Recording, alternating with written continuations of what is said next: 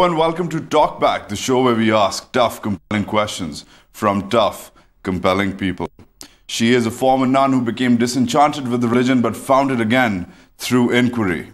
She is the author of several books from the life of the Buddha to that of the Prophet Muhammad, peace be upon him, and even the history of God. Some call her the foremost authority on world religion today.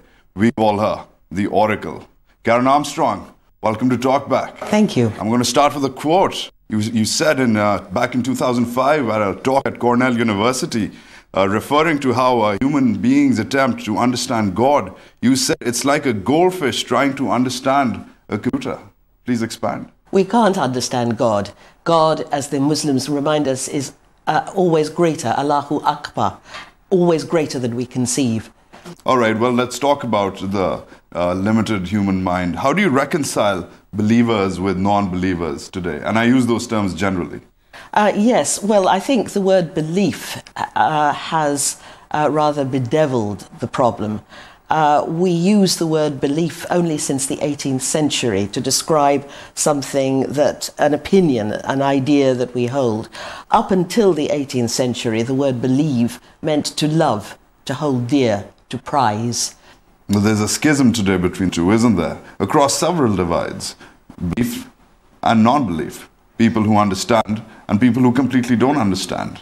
Yes, uh, I, that there probably there is, and there's also great conflict between the believers, uh, people who hold different opinions about God, uh, opinions which they take to be absolute. Uh, and are not willing to compromise on. So there's, there's conflict everywhere in our world today, not just between uh, those of faith and those without. But being what you refer to yourself as, being a freelance monotheist, what would you say to people who don't understand what that means, who have no idea? Uh, well, I, I, will try to explain it to them uh, simply. Um, I uh, made that remark in a flippant, offhand way, and it's dogged me with interviews like yourself ever since. Um, it was a way of saying that I see all three of the monotheisms as equal and valid. I cannot see one of them as superior to any of the others, and I draw nourishment from all three. So you pick and choose? No, I don't pick and choose. I devote my entire day to the study of all three. Um, as well as to the other world religions. At the moment, I would describe myself as a religious convalescent. So you found religion through study, you, you found it again. But what about blind faith? Do you think blind faith exists? What about people who, who know God through blind faith? Uh, well, um, I don't like the idea of blind uh, because enlightenment is about seeing seeing in a different way. Um, someone who believes mindlessly is just simply an automaton. Uh, so you, religion and religious conviction is something one cultivates in oneself. Uh, one doesn't just get an infusion of it and do it automatically. You cultivate it as you cultivate an aesthetic sense, like an appreciation of art or music. But over the years, if you train your ear, you learn to be able to listen. And it's the same with religion. So you don't believe in blind faith, bottom line.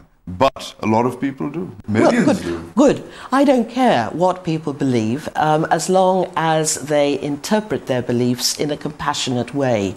Uh, and this is not my little idea only. All the world religions, whatever they are, from the Oriental, Buddhist, non theistic religions to the monotheisms, all insist that the test of any religiosity is not what you believe, but whether you translate those beliefs into a com- compassionate, practical action and learn to see the divine or the sacred in the other. All right, let's get political. The divide between the church and the state, or the mosque and the state, call it what you may. Is it just human construct we've uh, created to make ourselves happy and a little more uh, politically correct, or does it actually exist? Can it really be implemented? Uh, well, um, it's uh, this the separation of church and state is, uh, or, or, rather, let's say, uh, more accurately, uh, the separation of religion from politics and, and government is a modern invention, uh, again dating from the European Enlightenment, and it sprang up from the horrors of 16th and 17th European history where there had been hideous religious wars, uh, largely as an offshoot of Europe's mod- modernization. Uh, Europe was at that time making the painful transition from pre modern to uh, the modern society, uh, which is always a troubling, violent, and disruptive process. Uh, and uh, the wars of religion made the Enlightenment philosophers determined to keep religion and politics separate. And that works for us in the West. Um, but, uh, but what do you mean by that? Works for us in the West? Can't work for the rest of us? it may not be what, it, what, what, you want. Um, uh, there are a lot of people, say, in the Middle East, who, you see, we, we developed our secular institutions over a long period. It took us uh, two or three hundred years to develop our secular institutions. And often, middle, some Middle Eastern countries, for example, have had to secularize in a mere 50 years very rapidly. And so often that has been too accelerated, too rapid. And as a result, uh, people, uh, ordinary people, have often felt secularization to be an attack upon faith. For example, when Ataturk secularized Turkey, he closed down all the madrasas uh, and he forced, abolished the Sufi orders and forced the Sufis underground. And that seemed like an assault upon religion. So, are you saying Middle Eastern and perhaps South Asian or rather Islamic countries generally are not ready for the separation? Is no, they may. They, it, it's something some, some, you may want and do as you choose. Um, and of course, you, you, you know, uh, it's fine. But in Pakistan, for example, you have a, quite a strong debate as to how do you create a secular Islamic state, a secular Muslim state? And that's an interesting, difficult question. What's your prescription? I don't have a prescription. Why not? Uh, I think it's too complicated, and it's not for me to say. I'm not a Pakistani. All right. Being a natural combatant, people say that believing in one religion or the other makes you a natural combatant, a natural ideologue, physical, philosophical, or moral. It pits you against another religion or another God. It's an automatic response to believing in one God. What do you think? I think that's um, a rather sort of simplistic idea. Uh, combat, anything combative is actually uh, antipathetic to religion. All the major world religions, and here I include Buddhism, Hinduism, Jainism, uh, Christianity, uh, Judaism, and Islam, took their roots in a revulsion from violence of any sort even here in the subcontinent, the ideal of ahimsa, uh, non-violence, was absolutely central to the religious quest, and that included aggressive speech, uh, aggressive, impatient gestures, and um, unkind thoughts of the other.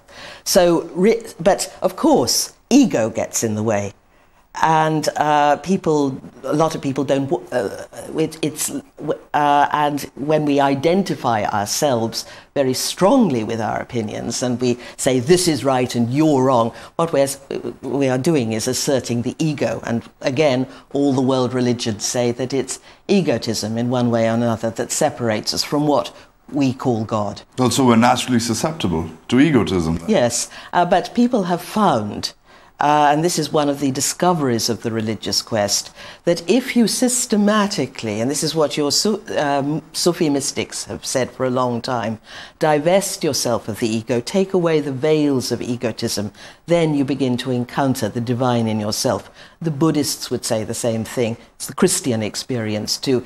If we, we are programmed probably for egotism, uh, when we came out of our caves and tried to survive against difficult predators and uh, to find food when there wasn't enough around. We had to fight for ourselves, our tribe, our people. We're poised for self defense. If someone attacks us, we hit back. Now, if we can uh, take ourselves out of that uh, self centered, uh, self preoccupied mentality, we may uh, put ourselves into an alternative state of consciousness. Well, by that point, if we are naturally susceptible, if you're saying that when we came out of our caves, it, st it started happening since then, then is religion the best option to take? Uh, well, people have again found that uh, religion uh, is an enhancement of humanity. Again, your Sufi mystics say that, first of all, you experience a self annihilation, fana, and then uh, you get back a fuller humanity, baka. And this is very much the same kind of ideas you have in, in Buddhism, Christianity, etc. People say that what holds us back from our best selves is selfishness, greed. And if we can get beyond that, get beyond that self preoccupation that looks at something and says, do I like this? Do I want this? Do I agree with this? I, I, I. And see things without that filter of distorting egotism, we experience something larger, a larger and enhanced humanity. All right, we have to take a short break here. We're with Karen Armstrong. You're watching Talk Back. Do not go anywhere.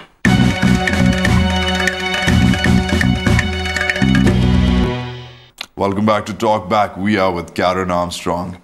Miss Armstrong, is God a he or a she? Neither.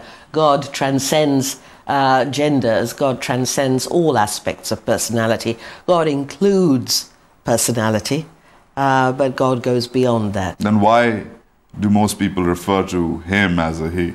Uh, well, because God, uh, the God of Judaism, Christianity, and Islam began as irredeemably male uh, in the early uh, books of the uh, Hebrew Bible.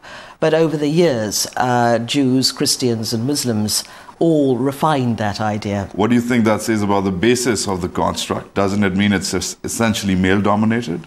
Yes, I think I think there's always been that. You think tendency. that's a good thing? No, I, I, I didn't say that it was a good thing at all, nor did I imply it.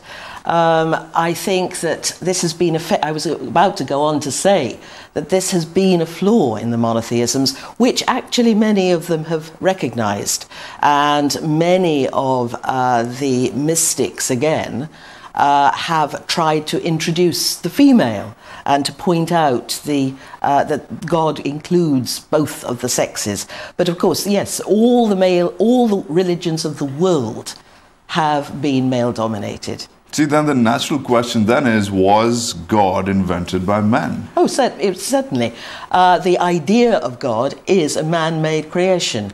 But uh, the, uh, the world religions say that our ideas of the divine cannot measure up to the absolute reality itself. They are a symbol uh, that we use to help us to focus on the transcendent. So then you're saying if they are a symbol which helps us to focus on the transcendent, but yet is a human construct. I don't see the two reconcile. But if man invented God. No, I said man invented the idea of God, theology, the study of God, and that includes the, the idea that we have of God, is our human way of talking about the divine.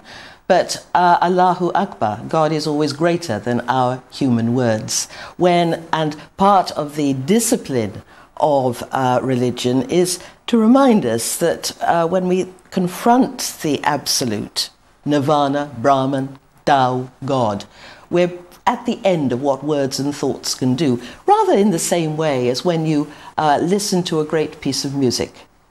And often in uh, the concert hall, when the last notes die away, there's a pause of silence before the applause begins. Theology is not meant to be statements about God, it's meant to be poetry. And a really great poem leaves you often with a sense of wonder or awe. Religion is very much more akin to art than to exact statements of philosophy. It's always expressed itself best in terms of uh, music, painting, dance, art, then, architecture. Then why is it so absolute? Well, this is, again, you mean theology, so uh, this is a temptation of religious people. Uh, to, uh, to mistake their ideas and think uh, that they've got God in their pocket. That's a very dangerous thing. Once you say, I understand God, uh, he, he's in my, we fits very nicely into my human system. You're beginning to lose uh, the whole idea of the, of the ultimate mystery of the divine. Okay. Historically, why have there been less women in the history of God than men. Because, as I say, all the world religions, without exception, uh, have been uh, male dominated and hostile to religion, to women. And this has been one of their great failings, I think. Uh, I make no uh, bones about that. Why would feminists believe in God if he was such a man? Such well, a he. Well, God is not a he. Uh, it's, the, it's the human practitioners uh, who in, uh, male practitioners who have often put that spin on God, and women have found their own way of getting around this. At the moment, uh, in many of the um, religions, women are um, making some kind of comeback and are pointing out that um, uh, you know the, the, the, the half the human race has been missing from this story. Though one has to say, coming back to Islam, for example, and I would say the same of Christianity, that the Prophet Muhammad uh, was himself very pro the emancipation of women. And uh, he gave in, um, women um, a great deal of respect in his ordinary life. And the Quran gives women rights of inheritance and divorce, for example, a legal status that Western women wouldn't have until about the 19th century. But that hasn't translated uh, no. very well down the ages, no. has it? No. no, because what happens, and the same was true of Christianity. In the, in the, in the, in the New Testament, Christian Christians uh, said that in Christ there was neither male nor female, that the new life had transcended these old gender barriers. But of course, after a few generations, the males in both religions hijacked the faith and dragged it back to the old patriarchy. So, if faith is susceptible to being hijacked, then why bother with it at all? Well, why bother with art? Just, uh, are you going to abolish all art just because some people produce horrible daubs instead of uh, masterpieces? Or are you going to ban all music because a lot of people write bad or uh, inferior or even mediocre music? Uh, this, we have a yearning for excellence, and we also have a wonderful capacity as, uh, as human beings for ruining something good. But art doesn't promise you the afterlife. Art doesn't say that I am absolute, believe me or die. Uh, well, neither does the best kind of religion. I would say that that some religions do. Uh, well, uh, some, but I would say, uh, as the Buddhists would say, unskillful religions do. You've called some religions bad and some religions no. Good. I would say some aspects, uh, at their essence, all the world religions teach that God is absolute. Very few of them uh, actually promise afterlife. Uh, that's not a preconception of many. Uh, it's Christianity and Islam that are pretty unique in imagining an afterlife, and they all insist. Uh, on the transcendence of the divine. Now, there are practitioners within those religions, uh, often, who make the, the kind of absolute simplistic claims that you've mentioned. See, I'm just curious because in a PBS interview, 3rd of January 2002, with uh, Bill Moyers. The question by Bill was, uh, if you were God, would you do away with religion? And you said, well, there are some forms of religion that must make God weep. There are some forms of religion that are bad. Just as there's bad cooking or bad art or bad sex, you have bad religion too. Yes, you do.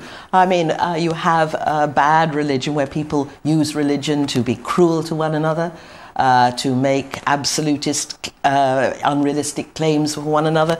Uh, this is, this is uh, as the Buddhists would say, unskillful religion. But then, who is anybody to decide what bad religion is? Well, the, the, the great uh, luminaries of the past, as I have said, insist that the test of religion is that it issues in practical compassion. And uh, they found also, and they've done that not just because it sounds good, because they found by trial and practice that it works. Uh, that if you systematically, day by day, uh, dethrone yourself from the center of your world and put another there, you do, they say, experience an enhancement of being. But of course, a lot of religious people don't want to be compassionate, particularly. They would prefer to be right. So, is there an afterlife? I have no idea. Then why call it a red herring? Uh, it's, I, I, I just don't think it's central to the religious life. I, uh, and I hear I, with the Jewish people who say, what we have is now. We have, and, and day by day, hour by hour, we have now. Uh, and as St. Paul said, the, one of the great founders of Christianity, eye hath not seen, ear hath not heard, nor hath it entered into the hearts of man what things God has prepared for him after his death. So that, uh, and if that's good enough for St. Paul, it's good enough for me. I prefer to be agnostic about these things, like the Buddha, who always refused to answer questions about the afterlife, because, uh, or whether Buddha existed in nirvana after his death, because he said we have no words or ideas, no evidence for this. Leave it alone. It's a symbol a great, uh, of, of, of a sense that we, we go on in some way, but who knows? I'm, I'm happy to be uh, agnostic about it, but if other people want to be, um, to, to, to see, to look forward to a heavenly existence, then that's fine again, as long as they uh, translate these beliefs into a compassionate, benevolent attitude to others in this world. Islamic scholar. Some people say that Islamic scholarship within the Islamic world is dead. Do you agree? Well, I've um, uh, people say it about the Christian world too, and in both cases, I've met some really interesting Muslim thinkers. Uh, no, I wouldn't say it's dead. I think it's very difficult, however, to be creative at a time when people feel under attack. Uh, we know it in our personal lives. If we feel in some way got at, or our careers in jeopardy, or uh, we, we, feel we're in a hostile environment, uh, I find myself, I, my, my writing seizes up. Um, I, I, I, become defensive uh, and poised against attack, and any creative ideas dry up. And I think people in the Muslim world, and they have good reason to, do feel under attack at the moment, not only with weapons. Uh, but also uh, ideologically. There's a great deal of Islamophobia in the Western world.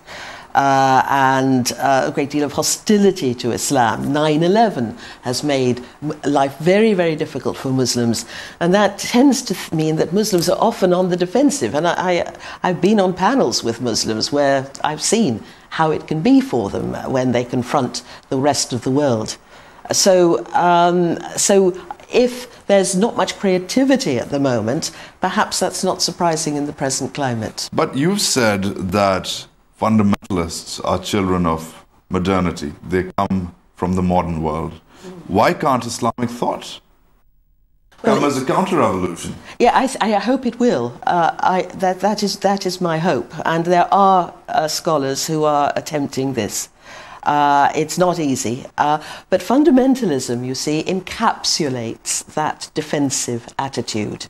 So it's easier, if you like, to be a fundamentalist when you feel under attack. Every fundamentalist movement that I've studied in Judaism, Christianity, and Islam is rooted in a profound fear, a fear of annihilation, um, and uh, a fear that, the, that um, uh, the liberal establishment or the uh, secular establishment wants to wipe them out. Uh, they don't like the way that religion is being pushed to the sidelines. Even in the United States, uh, there are Christians in small town America who feel, as it were, colonized uh, by the uh, secular ethos of Harvard or Yale or Washington, D.C. And they've developed this defensive spirituality uh, that often goes on the attack uh, to uh, ward off extinction. And yet, a country like America plugs down democracy everybody else's throat and plugs yes. down. Yes. Why? Why do you think that is? Uh, ego, national ego, I think. Uh, democracy is part of the modernization process and uh, it will it comes in its own good time. It's a good system of government, but like any system of government, it has flaws. All right, let's go back to uh, scholarship. We took a detour there. Do you think something like Ijtihad can be brought back today? Yes, I do. Do you think there's a need for it? Yes, and it's never been entirely dead, you know. Even when the gates of Ijtihad were actually closed uh, officially in the 14th, 15th century, Ibn Taymiyyah came right out and said, no, open them. Uh, we've got to keep thinking critically. And in Iran, for example, uh, the, the, Shiite world, uh, the gates of Ijtihad were, nev- were never closed. And indeed, uh, fundamentalism is a form of Ijtihad. It is um, innovative, uh, it is a new thought, it's a new response to the situation, and I agree. I wish we could have some non fundamentalist uh, scholarship uh, coming out to really grapple with the needs of our time and above all with the paramount need we have in our world to create a global community. Is religion fundamentally political? Because some people say that it is the largest form of political organization known to man. I think we, are seeing a great deal of highly politicized religion at the moment. That, that includes the fundamentalism that we have spoken of. Now, I, insofar as religion must, if it's a, to retain its compassionate mandate, look out for the health of society, for the poor, the oppressed, wherever they are, in whatever part of the world, then religion is political because it must care about the way things happen. That doesn't mean that we all have to jump in to become president of the United States or say prayers before every uh, meeting of Congress, uh, but that uh, I, re- prophetic religion uh, has a long tradition go in, going right back to the uh, Hebrew scriptures of speaking against the establishment on behalf of the people. Uh, and that was the, in, in the, uh, for many, many years in the Muslim world and in the Shiite world, right up to the time of the Iranian Revolution. That was the task of the ulama. But um, effectively, the gatekeepers of religion have always used it politically, even for the social welfare aspect.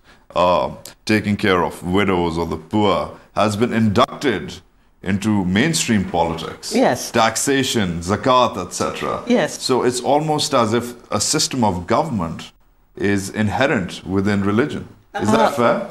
Uh, well, I think you can say that uh, that some religious leaders be often behave like religious politicians. Uh, endlessly pushing their own party, their own sect, unable to, uh, th their own kind of interests, uh, and uh, and, and, yes, and, and there is, but and insofar as the secular state has picked up on some of the insights of religion, um, that is that is uh, important. But there is, you know, that that has been an important relationship, but. Uh, religion must remain compassionate if it's to be authentic, in my view, and in the view of the great sages like the Buddha and Jesus and Muhammad. And uh, politics is a very dirty business often. It's to do with self interest, with promoting my country, my party. We know there's corruption, there's uh, uh, cruelty in politics. we we see it day by day in, in East and West. Uh, and so, uh, insofar as uh, politics is about greed and self advancement and interest. But, but, isn't religion and politics aren't the two natural allies?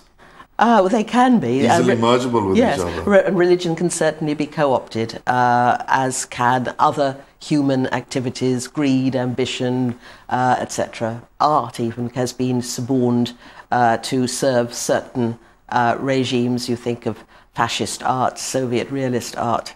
All right, let's get a little more political. They say, at least in this part of the world, some people say that there's no winning from the fundamentalists because they believe in God. What do you think?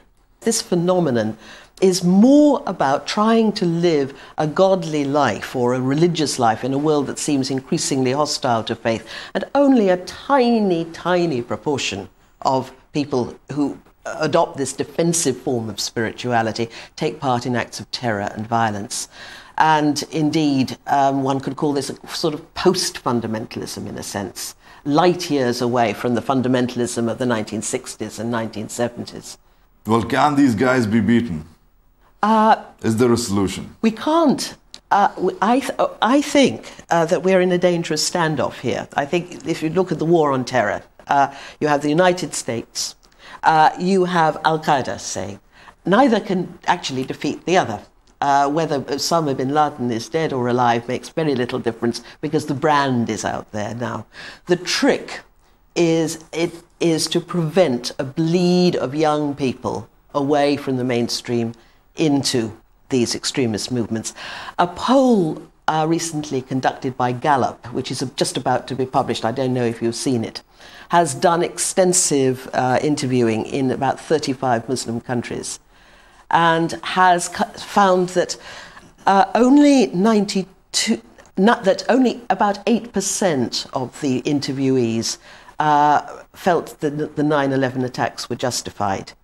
92% roughly uh, felt that it could not be justified. They may not have liked Western policy, but they did not feel that uh, these attacks were justified.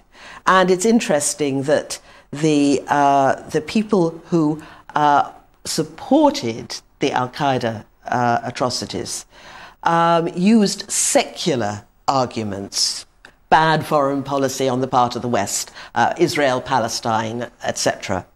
Whereas the 92% of Muslims who disagreed with the atrocities used religious arguments uh, to counter uh, this, saying, quoting, for example, the Quranic verse that says, to take one life is to destroy a whole world.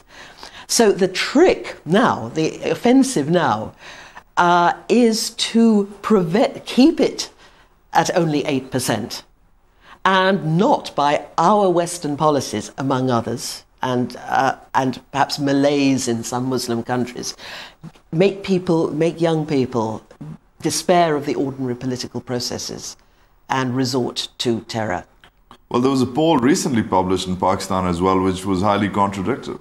Uh, majority of the nation was against the war on terror. Oh, I, the war. A, ma- a majority of the nation was against the fighting, but a majority of the nation was still still was on the side of the militants. Well, uh, th- there you there you have it. Who these polls? Who knows? I, you give your poll, I give mine. I, I, have nothing more to say. War on terror, I think, has been a very bad idea.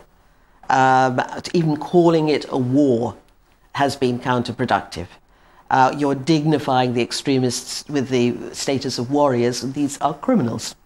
Um, and uh, it, uh, it, it, it, it's falling into this uh, fundamentalist mindset that sees two camps. This is a criminal activity, and it should have been, I think, dealt with in a legalistic way. Bringing people to the international court rather than bombing people and killing civilians. And look at the greed that's happened with the war in Iraq, a quite illegal and nefarious war.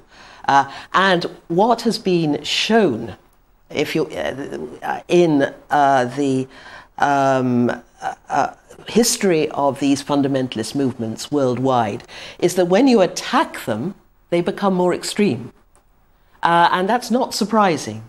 Because when uh, these people believe that they're about to be exterminated or annihilated, as I said earlier, that these movements are all rooted in fear, when you come after them with guns, uh, this confirms their suspicion that you really are out to destroy uh, their, the, them and their religion. Um, so uh, I, I and, and, and, Pakistan is really right on the front line here. That was my next question. That what would you say to uh, good old middle class tax-paying citizens of Pakistan who support Osama bin Laden?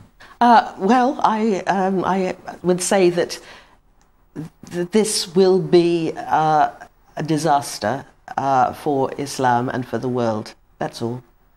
Um, but, you know, I, I understand their disillusion with the West, uh, and I understand uh, that uh, th- there have been political injustices and a political imbalance in the world.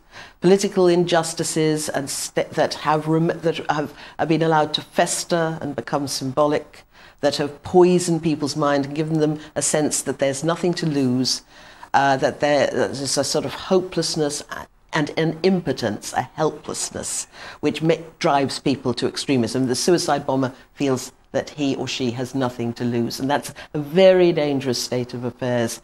Uh, I would see, however, uh, these movements as fueled by politics rather than religion, to be honest. Their response, I see them almost as a form, as a sort of religiously uh, expressed form of nationalism or identity rather than inspired from religion. You can pick out verses of scripture to justify anything uh, but if you're going to bomb a London bus, uh, you, you, you don't do that because you've read a verse in the Quran. Uh, if you listen to what the bombers, the, one of the suicide bombers said on his farewell video, uh, he did it because of political reasons, because of the war on terror, the atrocities in Iraq, the death of Iraqi civilians, an appalling number of civilian catastrophes in Iraq, the Abu Ghraib disaster, uh, the um, Guantanamo Bay, uh, Palestine, the sufferings of Muslims in Gaza and the West We've got to take a short break here with Karen Armstrong. You're watching Talk Back. Stay tuned.